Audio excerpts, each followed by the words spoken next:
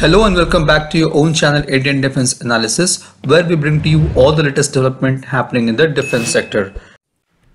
From Kargil War to Balakot strike, the French origin Mirage 2000 remained Indian Air Force's favorite option for the deep penetration strike. The French built jet can be scrambled in less than 6 minutes, making it India's number one air warrior until Rafale joined the inventory. What exactly sets Mirage apart is its high drag and low wing loading clubbed with high percentage of thrust. The Mirage 2000 has a maximum speed of Mach 2.2 and can travel 1550 km with drop tanks. The plane weighs 7500 kg and has total takeoff weight of 17000 kg. The flight height is capped at 59,000 feet. This gives Mirage 2000 an advantage in quick operation. The fighter aircraft has a fly-by-wire flight control system and has Sextant V130 HUD which displays data related to flight control, navigation, target engagement and weapon firing. In terms of armament, the Mirage 2000 can carry laser-guided bombs, air-to-air missile, air-to-surface missile and has Thomson radar Doppler multi-target radar on board.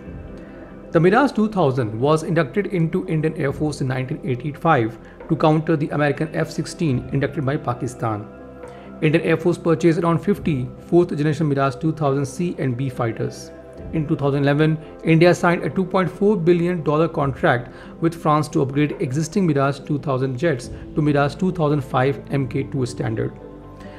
The upgrade includes a new mission computer with high memory, new radar, advanced navigation and electronic warfare systems, advanced communication and identification systems. The work on avionics and system was done by Thales, while for the missiles, a separate contract was given to MBDA to provide and integrate Mica air-to-air missiles. The contract with the Dassault and Thales worth $2.4 billion. A separate contract was signed with MBDA for 450 Mica missiles worth $1.23 billion. The heart of upgrade was Thales RDY 2 radar, which allowed for very long range engagement of targets in air, automatic tracking of targets, mapping of targets on the ground using Doppler beam sharpening techniques, and the ability to track and engage targets which are moving on the ground. The new helmet mounted sights enabled pilots with a display inside their helmet.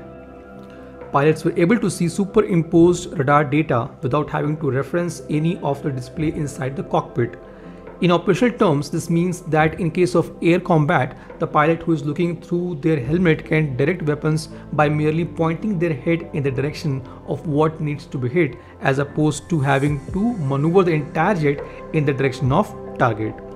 Pilot need to just see target, lock on it and launch weapons. The Mirage 2000 features a new night vision compatible all digital state of art class cockpit with multicolor multifunctional displays replacing bulky analog gauges. The new cockpit is neater, more user friendly and far simpler to maintain. The Mica missile integrated with Mirage 2000 is a multi-mission air-to-air missile system that is it can cope with beyond visual range and short range combat situation and exhibits very high performance in both roles. The weapon covers beyond visual range situation and in addition offers two guidance system with its two interoperable seekers which is RF Mica with radar seeker providing all-weather shoot-up, shoot-down capability and IR Mica with a dual wave band imaging infrared seeker surpassing latest generation air-to-air missiles.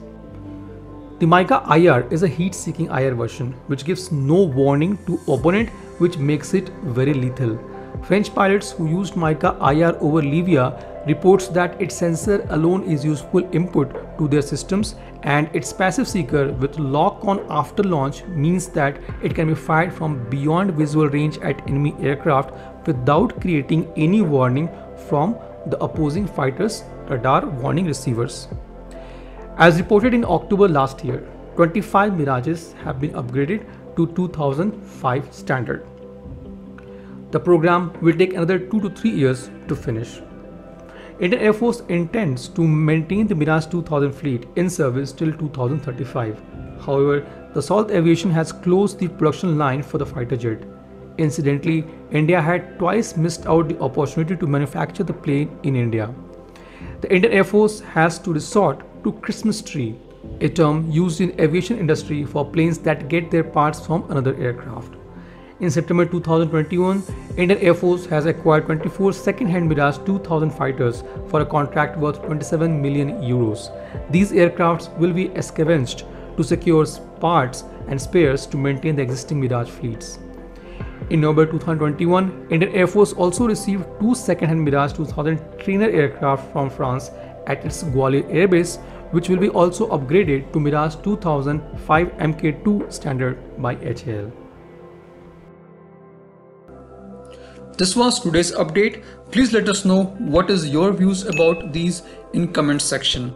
Feel free to post your comments and suggestions about any topic related to defense sector on which you want to hear from us. With this, I would like to say goodbye and Jai Hind friends. Please like and subscribe our video if you have not done already. We'll be soon back with more interesting and amazing development happening in defense sector.